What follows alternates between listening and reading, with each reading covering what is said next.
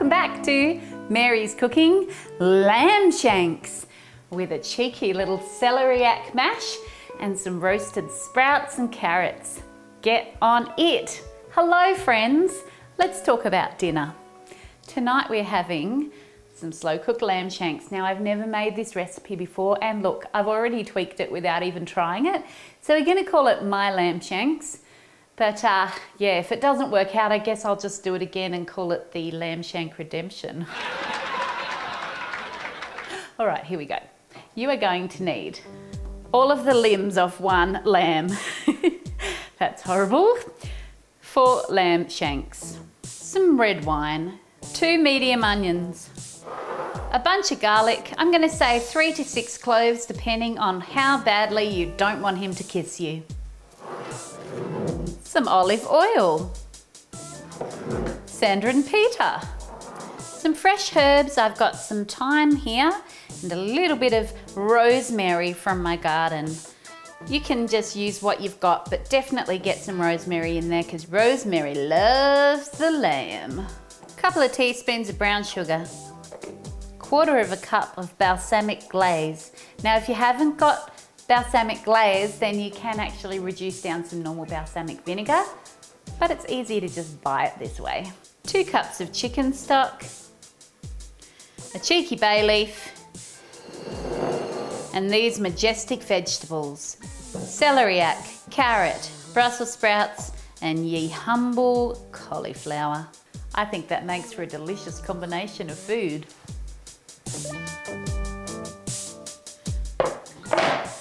All right, first things first, if I were you, I would turn on your pan right now. If you've got like a lovely one of those Dutch ovens that you can pop in the oven without melting it all away, use one of those. I'm gonna use a heavy cast iron pan and I'm just gonna cover it with foil. But if you've got one with a lid, that's what you want. So I'm gonna pop that on the heat right now so it starts to heat up. So when I put my lamb shanks in there, it sizzles. It's time to oil up these babies.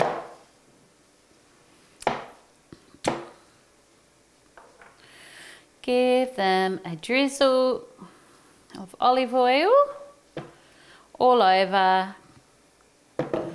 May as well get them all involved.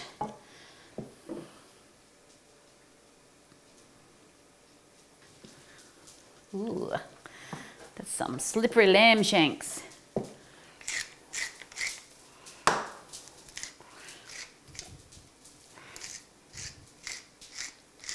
I like a good whack of salt and pepper. I'm all about the flavour, you see.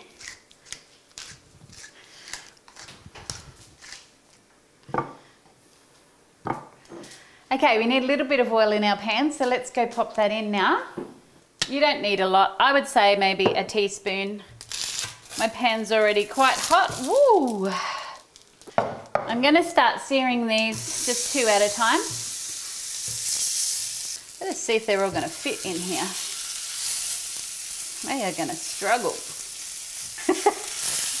These are not all going to fit, but I'm going to brown them separately and then I don't think it'll matter that they're poking out.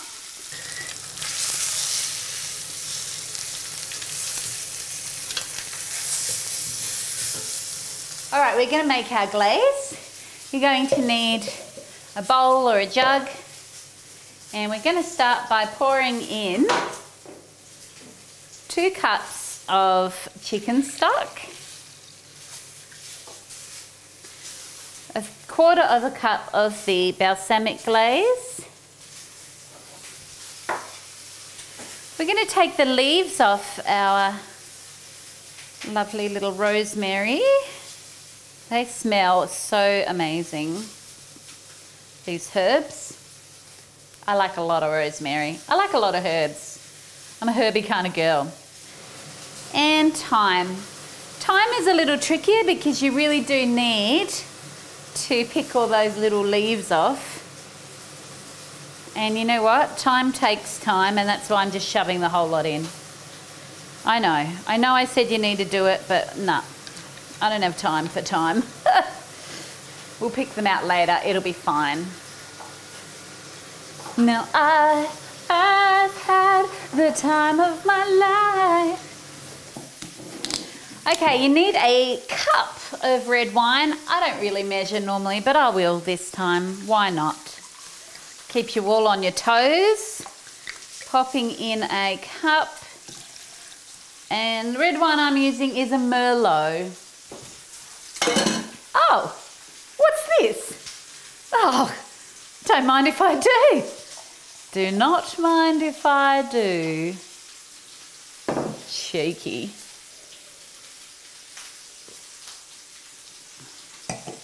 All right, got to be some perks to cooking dinner. There are so many perks because I love to cook. All right, to that I'm going to add a little bit more salt and pepper. Just a few whacks of each. Probably don't need too much salt because there is chicken stock in there. Some pepper, cheeky little bay leaf. He finds his way into every recipe even though nobody really knows why. To aid with digestion or something. And we are going to chuck some, ah, a oh, little bit of brown sugar in there. I feel like the sugar is needed to just balance out the acidity of the, the vinegar and the wine. Just taking these out once they are browned on all sides. I don't know why my pan is smoking so much. Doesn't it know it's bad for it? Before we do our onions, let's just smash up our garlic a little bit because he's going in the glaze and you may as well do it all together. These are little cloves from my dad's garden, so they're a little bit fiddlier. Just gonna finely, well, there's not really anything fine about it. Let's just chop this. Chuck him in. Lovely. Okay. Pretty sure that is the whole glaze done. Onions. I'm to chop them into wedges.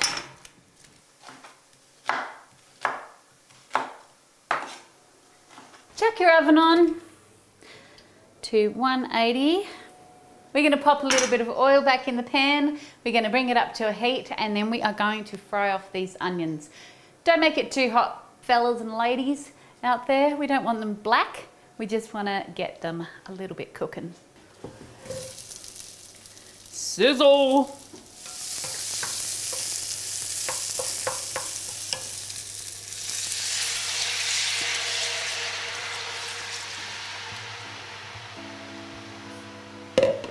And I want to bring that up to the boil.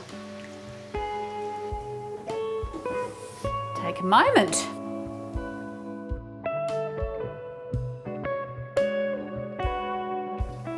Starting to come up to the boil, so I'm going to add in my lamb. Let's see if I can fit them all in. This is meat Tetris. Oh yeah. Oh, this little guy, he really wants to get in the bath. I would like to make a joke about the fact that this is what it looks like when my husband and I try to have a bubble bath together. Let that all boil together for two minutes. All right, after two minutes, you want to cover it.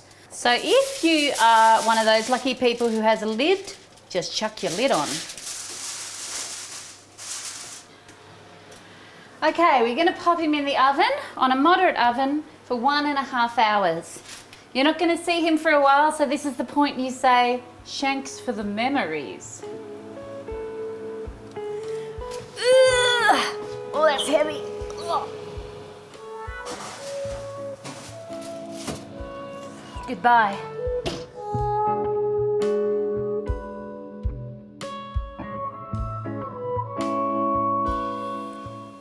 Like to introduce you to my friend, celeriac or celeriac, depending on who you are.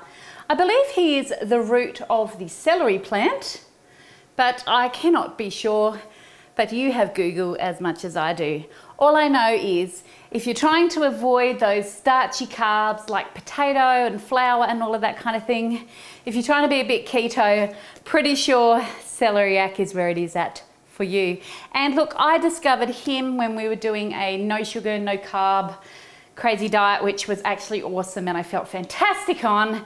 So if you're out there and you're not eating potatoes and you've been making cauliflower mash and you're filled with bitter disappointment with every mouthful, this guy, he's gonna change your life. Yes. You need a sharp knife. Look, I'm just using the one I used with my onions and garlic and that's fine. And you do actually need to take the outside off. Now, celeriacs do actually come in various shapes and sizes. I like to just pick one that looks like it's the biggest actually because they are usually sold per item. So this one was $4.50 just from my local Coles. Um, you can actually get them from fruit and veg markets and they're usually better, probably a bit fresher, but they do usually cost a lot more. They can be like $14 a kilo. So anyway, I would generally use half a celeriac at a time because they're not cheap and they do have a a distinct flavour about them. So I'm just going to use half of this like so. Actually, I'll have a little bit more. Just get any yucky looking bits off it. There you go. Other uses for celeriac are you can grate them up and put them in a salad like a coleslaw. I never have. I did try roasting them once. It was foul. Don't do it. It's got a weird stringy texture if you do that. It is not a substitute for potato except for in mash. I'm going to chop him into cubes. And later, when our lamb is closer to being cooked, I will be boiling him in a little bit of water or you can use veggie stock if you want to along with the same amount of cauliflower. So half and half. You might have noticed my shout out board today has three lovely names on it, Tamanu, Lottie and Solly. They are my sister's kids and they live over very far away in Kuranda near Cairns. And I gave them a shout out because they've been making their own cooking shows inspired by me, of course. anyway, you three are amazing. I miss you. I love you. Ah, if only you lived here, I'd have you on the show. While I peel my carrots, perhaps you'd like to have a little look at what has been going on in your homes and the yummy food that you guys have been cooking.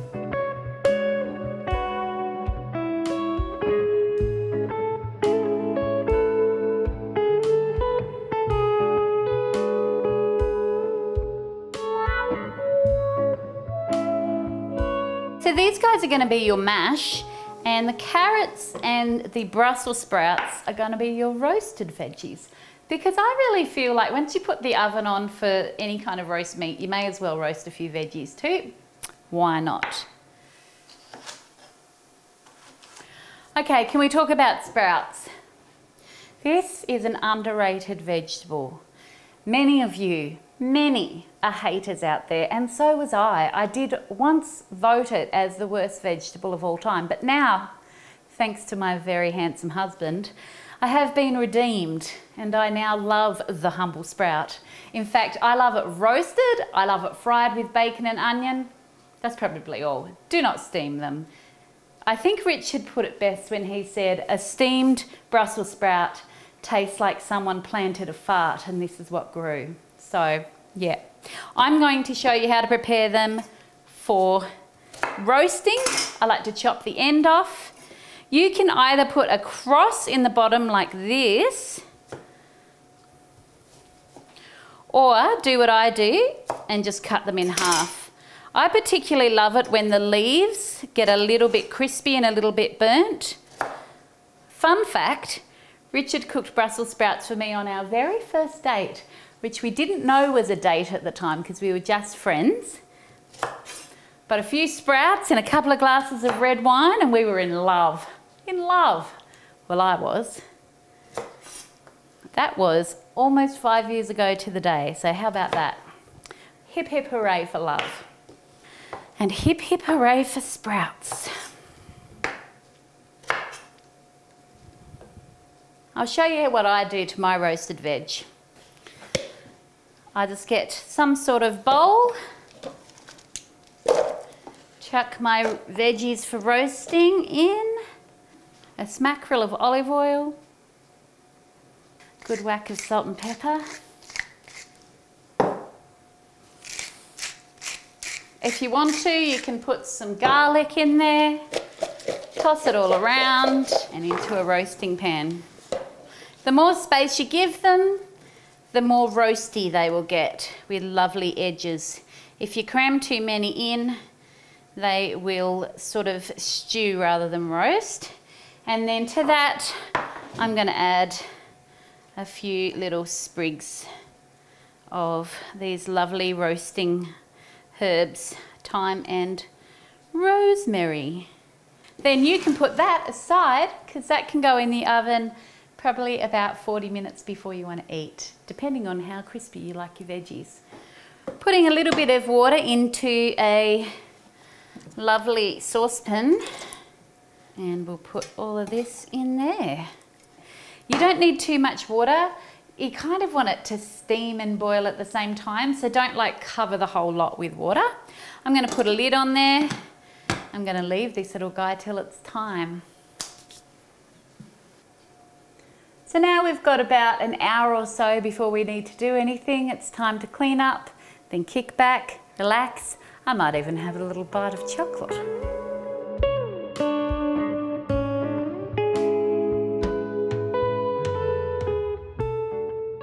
Ladies and gentlemen, boys and girls, it's been one and a half hours in a moderate oven. Smells really good. I haven't had a peek yet, so let's have a look. We're gonna take the lid off. Oh, yes. Looks so good. By the way, I grabbed these guys out and I've chucked my veggies into the oven. So now, come in and have a little look at these guys. We're gonna turn them over. See how all of the fat that goes all the way down the end of the bone actually just cooks away and that all happens naturally. So you don't have to do any fat trimming before you put these in. In fact, I beg you, please don't try and trim them. Okay, this is looking good times. I'm just gonna move them around a little bit so they're fitting nicely.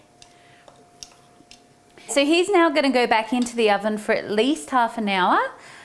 And at half an hour, I'm gonna take him out, have a little look at the meat, see if it's falling off the bones, if it's getting a nice brown, delicious stickiness on the outside and uh, go from there.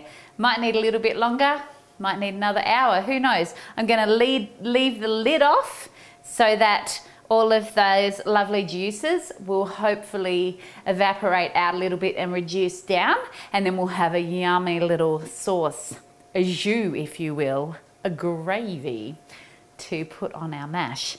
All right, these guys are going back in half an hour to start with.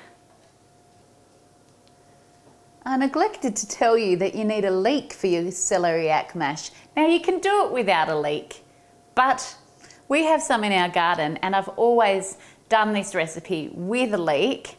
Now look, here's a little bit of a sad looking leek, but I'm so proud of him because we grew him ourselves. With a leek, they are filthy, filthy creatures. So you need to cut off the bit that you're going to use which is not a lot to it. Then cut it down the middle and you'll see there's so much filth in there. We got to give this a really, really good clean. I didn't get a whole lot out of this guy, but he's clean at least. Roughly chop.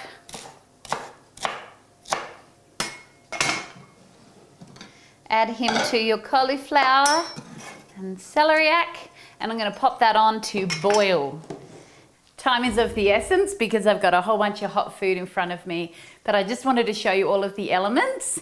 So I have here these beautiful, I have actually taken them out of the oven a little while ago and I will probably pop them back in to heat up again. This is our roasted vegetables, um, the beautiful Brussels sprouts, all caramelized and delicious in with those herbs and the carrots. And I'm actually gonna move those over to the side because I'm gonna take these gorgeous, beautiful shanks. Look at them.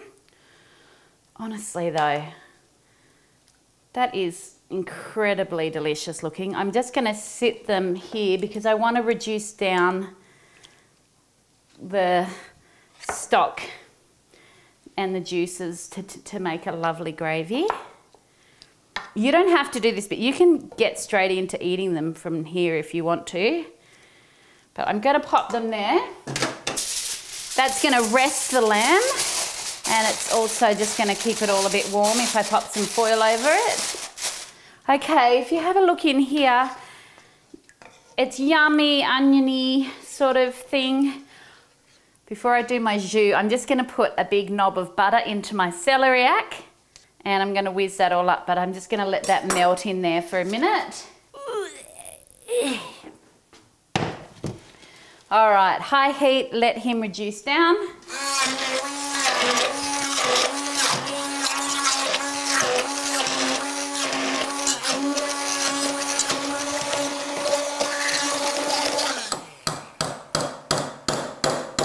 That's yummy. Upon further reflection, I reckon definitely use veggie stock instead of just water, but it's still yum. Okay, checking on our jus. I know it's looking a little bit frantic now. This is actually what I look like moments before people come for dinner, where everything is just a bit like, ah, ah, ah. Don't let me fool you. This is actually very simple. Doesn't have to be frantic. Let's see if our gravy's okay. Nice big open wide pan means that it will reduce down quicker. Keep in mind that the more you reduce it, the stronger the flavour will be. Hooray for that. Don't want to burn off my flavour buds. Oh, yum. Mr. Beauregard, I do declare, that's actually so delicious. Oh, yay! I'm so excited. I'm excited to share this with you guys. So I'm going to let it reduce a little bit longer while I start to plate up. Richard, you better get excited for dinner.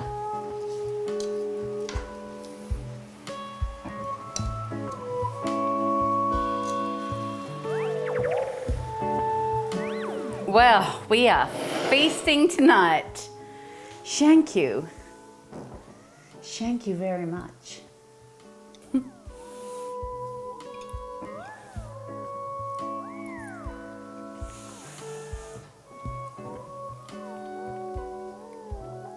so happy. Oh, I'm so, I'm so happy. I now have a lamb shank recipe that I love. And I'm also happy that we're about to eat this for dinner. And I'm also happy that there's still half a bottle of red wine left.